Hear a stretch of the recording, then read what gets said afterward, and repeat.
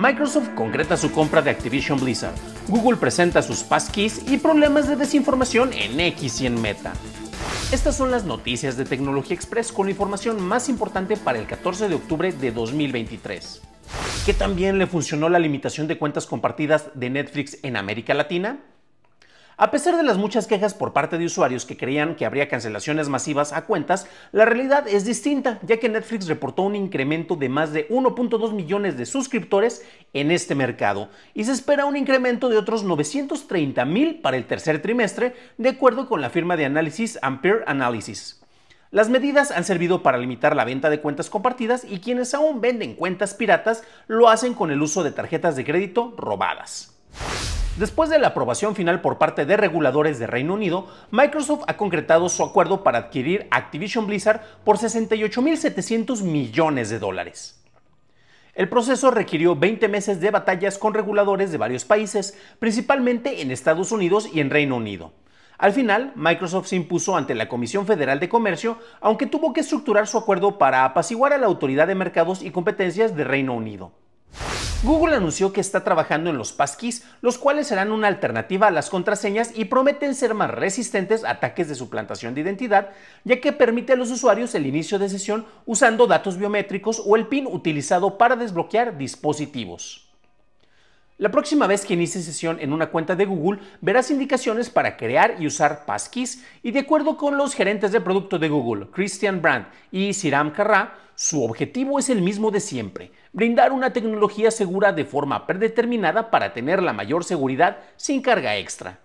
Continuamos con Google y su área de inteligencia artificial está analizando datos recopilados por Google Maps y están haciendo sugerencias para que la sincronización de semáforos sean más eficientes, reduciendo tiempos de espera y emisiones de carbón. La compañía anunció el pasado martes los resultados de su proyecto Greenlight, el cual impulsa una mayor sustentabilidad ambiental en zonas como la India e Indonesia. Es un objetivo valioso con un potencial significativo del impacto en el mundo real, dijo Gohul Sharon, profesor asistente de la Universidad de Texas, que también estudia el potencial de inteligencia artificial para optimizar el tráfico. Pasamos a la noticia más importante del día, y es que la Comisión Europea le envió una solicitud formal a X solicitando información y abriendo una investigación sobre reportes de que la plataforma circula contenido ilegal y desinformación enfocada en el conflicto armado entre Israel y el grupo Hamas. Advertencias similares fueron enviadas a Meta, quienes han actualizado su plan de monitoreo de contenido. Meta dijo que creó un centro de operaciones con expertos en hebreo y en árabe, en donde trabajan las 24 horas del día monitoreando la plataforma. No queda claro si la comisión iniciará una investigación en forma en contra de Meta. Estas fueron las noticias y ahora pasamos al análisis, pero antes de hacerlo ya sabes qué hacer. Por favor déjame una calificación de 5 estrellitas en Spotify o en Apple Podcast o un like en YouTube que no te cuesta nada. Por cierto, hablando de YouTube, gracias a nuestros nuevos suscriptores como Carniva, Paulino Cuevas y Jorge Villarreal. Bienvenidos a bordo, camaradas. La distribución de desinformación en redes no es algo nuevo. Ya tenemos, yo creo que más de una década, bastante tiempo, eh, en lo cual es algo bastante presente. Y debido a que tenemos acceso a tantas opiniones, es fácil encontrar cosas que queremos creer y con ello nos encerramos en nuestros propios nichos en donde podemos creer lo que nosotros queramos y encontrar validación por parte de otras personas. En el caso de plataformas como X, antes Twitter, y debido tanto a recortes de personal que ha habido en la empresa como a medidas cuestionables como la eliminación de los titulares, cuando tú tienes una nota de noticias que quieres compartir, ya solo aparece la foto y ya no aparece el titular como aparecía antes, que era relacionado con el, código fuente de la página y hacía que automáticamente en las, en las tarjetas esto se viera. Eso ya no funciona porque se veía feo, según Elon Musk, ¿no? Entonces, estas son algunas de las cuestiones que han estado ayudando para que eh, se pueda circular información que muchos de los usuarios ni siquiera quieren corroborar, ni siquiera le dan clic para ver qué es lo que está ocurriendo allá. Y esto, pues bueno, hace que el lector pueda interpretar de cualquier manera la información que se le esté proporcionando ahí. Y esto está haciendo que la desinformación se, de se, se esparza de una manera pues mucho más preocupante. Y es que, bueno, a pesar de sus malos manejos en la anterior administrador, eh, administración, cuando antes de que fuera X todavía era Twitter, pues se logró establecer que la plataforma eh, fuera una de las mejores opciones para compartir información en tiempo real y era increíblemente eficiente. Y bueno, no será tal vez este, la, plataforma que haya tenido mayor adopción, pero eso ayudaba y sobre todo porque había nichos muy ruidosos como los periodistas, eh, eh, los cuales, pues bueno, aquí podemos compartir información, aquí lo hacemos rápido, te puedo hacer un reporte en vivo y eso hacía que fuera algo bastante, bastante útil. Y actualmente, cuando tú tratas de utilizar X, entre la invasión de publicidad, el que al parecer si no pagas no tienes un buen servicio y aun cuando pagues, cuando tengas eh, Twitter Blue, bueno, eh, X Premium como se llame ahorita, pues sigues teniendo muchas limitaciones y no tienes acceso a información en tiempo real. Antes, por ejemplo, para eventos como un concierto, para eventos como un, partido de fútbol, eh, para eventos en vivo, podías ver cómo circulaba todo y era de una manera muy eficiente. Y ahora eso ha bajado muchísimo la calidad. Y en otras plataformas ni hablemos porque, bueno, eh, Threads y, Meta, pues con Facebook están muy, pero muy detrás, ¿no? Entonces se perdió mucho lo que era el, atributo más importante de Twitter. Y bueno, hablando de Threads, este es un clon de, que hizo Meta, concretamente para tratar de replicar la, comunicación de mensajes rápidos a través de, texto. Eh, y pues para nadie es secreto que están copiando la fórmula de Twitter. Hay muchos clones de Twitter, tampoco no es el único, pero es el más visible porque es producido por, por, eh, por el CEO, por ejemplo, de, de, Instagram. Em, y pues bueno, tiene todo el respaldo de Meta, ¿no? Y bueno, hay ánimo sería dicho en varias ocasiones que él no le interesa que haya difusión de noticias dentro de la plataforma. Y eso hace que aunque tengamos a muchos reporteros, por ejemplo, de Verge, el mismo editor Neil Patel, que yo sigo bastante y es una fuente valiosísima de información, ellos únicamente publican en threads, no están en Blue Sky, que yo prefiero muchísimo, pero yo sé que ahí todavía no tenemos masa crítica como para tener información de noticias. Y en post, por más eficiente que sea la plataforma, pues tampoco funciona de, esa manera. Y pues tenemos ahí algunos, algunos problemas, ¿no? Moseri, ya lo mencionaba, ha dicho que no le interesa que haya difusión de noticias dentro de esa plataforma y se entiende porque siendo parte de Meta, eh, relacionados con Facebook.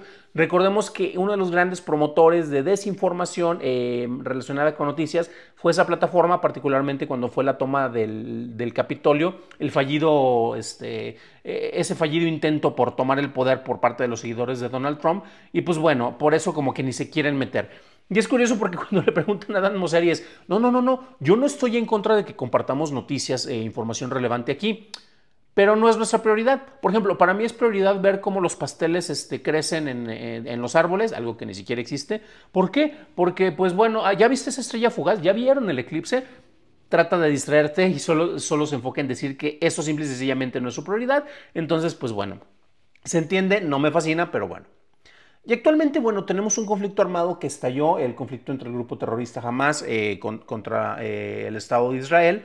Y precisamente esto despertó varias alertas, particularmente en Estados Unidos, donde la comunidad judía tiene una presencia eh, más visible que en, otros estados. Y de repente ahí eh, se, buscó incluso el apoyo del mismo Elon Musk para que se viera que hubiera un manejo más eficiente sobre el monitoreo de las noticias, ¿no?